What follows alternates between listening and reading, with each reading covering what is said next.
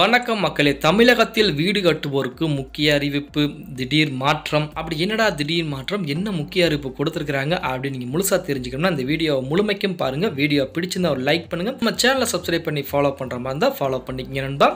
நம்ம தமிழகம்னு சொல்ல முடியாது. உலகத்தில் இருக்க ஒவ்வொருத்தருடைய கனவும் தனி வீடு கட்டணும் அதுவும் சொந்த வீடாக கட்டணும் அப்படிங்கிறது தான் அனைவருடைய கனவாகவும் இருக்குது. கிராமப்புறங்களை எடுத்துட்டீங்க அப்படின்னா தனி வீடு கட்டணும் அது தனியாக காட்டுக்குள்ள கட்டணும். அதாவது எந்த ஒரு தொந்தரவுமே இல்லாமல் கட்டணும் அப்படிங்கிற மாதிரி தான் நிறைய பேர்த்தோட கனவு இன்ன வரைக்கும் இருந்துகிட்டு இருக்கு. ஆனால் வீடு கட்டுறது சாதாரண விஷயமா? அந்த காலத்தில் பார்த்தீங்க அப்படின்னா கல்யாணம் பண்ணிப்பார் வீட்டை கட்டிப்பார் அப்படிங்கிற பழமொழி சொல்லிருப்பாங்க நம்ம அனைவருக்குமே தெரியும். அப்படி அந்த வீட்டை கட்டி பார்த்தவங்களுக்கு தான் அதோடைய அருமை எவ்வளவு கஷ்டம் எவ்வளவு பண பிரச்சனைகள் அப்படிங்கிறது தெரியும். நம்ம ஒரு எஸ்டிமேட் போட்டிருப்போம். ஒரு ஏழு லட்ச ரூபா வீடு கட்டி முடிச்சிடலாம் அப்படிங்கிற மாதிரி போட்டிருப்போம். ஆனால் வந்ததோ பத்து லட்ச ரூபா பக்கம் இருக்கும். ஏன்னா ஒவ்வொரு பொருளும் விலைவாசி அதிகம். இப்படிப்பட்ட சூழ்நிலையில் இப்போ சிமெண்ட் அதாவது நம்ம வீடு கட்டணும்னு நினச்சிங்க அப்படின்னா முக்கியமான பொருள் செங்கலும் சிமெண்ட் தான் அதிகமாக தேவைப்படக்கூடியது. இந்த சிமெண்ட் பார்த்தீங்க அப்படின்னா அதிமுக ஆட்சி காலத்தில் அந்த இலவச பசுமை வீடு கட்டினாங்க பார்த்தீங்களா ஒரு வீட்டுக்கு ஐம்பது சிமெண்ட் மூட்டைகள் அப்படிங்கிற மாதிரி கொடுத்துக்கிட்டு இருந்தாங்க. இப்பயும் அப்படித்தான் கொடுக்குறாங்க அப்படிங்கிற மாதிரி தகவல் வெளிவந்துகிட்டு இருக்குது. இப்படிப்பட்ட சூழ்நிலையில் சிமெண்ட் நிறுவனங்கள் பார்த்தீங்க அப்படின்னா அதோட விலையை குறைக்க இருப்பதாக ஒரு தகவல் வெளிவந்திருக்கு நண்பா. அதாவது என்னடா திடீர்னு ஏன் விலையை குறைக்கிறாங்க அப்படின்னு பார்த்தா போன வருடம் பார்த்தீங்கன்னா